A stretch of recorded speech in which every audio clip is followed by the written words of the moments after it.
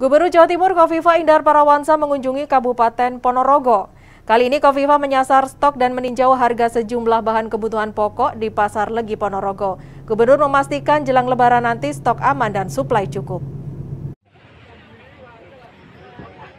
Dalam kunjungannya ke Pasar Legi Ponorogo, Gubernur Jawa Timur Koifah Indar Parawansa berkesempatan memberikan paket sembako kepada tukang becak dan kuli panggul di Pasar Legi Ponorogo.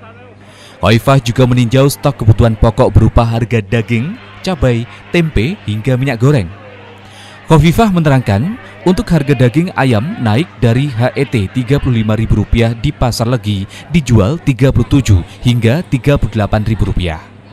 Khoifah mengaku saat ini yang menjadi tugas rumahnya adalah kestabilan harga minyak goreng.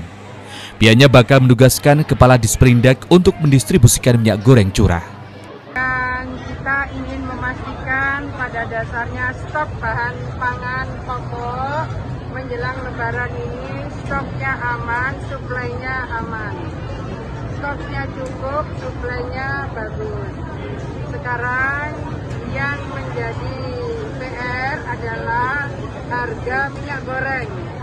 Pada dasarnya stok ada, tapi harga mengalami penyesuaian cukup signifikan saya cek harga daging ini ada kenaikan 5 sampai 10 ribu tergantung kualitasnya.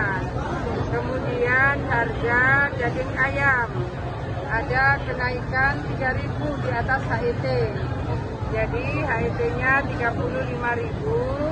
Kemudian daging ayam di sini dijual harga apakah naik pada daging, sembako, buah, dan mie sampai apa saja beliau cek sudah dan ada beberapa yang naik tapi tidak tidak terlalu menggelisahkan lombok tadi yang lombok besar naik lombok yang yang cempling masih biasa Gubernur Koifah juga berkesempatan melaksanakan panen raya di Desa Trisono, Kecamatan Babatan, Ponorogo. Dalam kegiatan tersebut, Gubernur juga memberikan bantuan alat pertanian kepada kelompok tani di Kabupaten Ponorogo. Ega Patria, JTV, Ponorogo.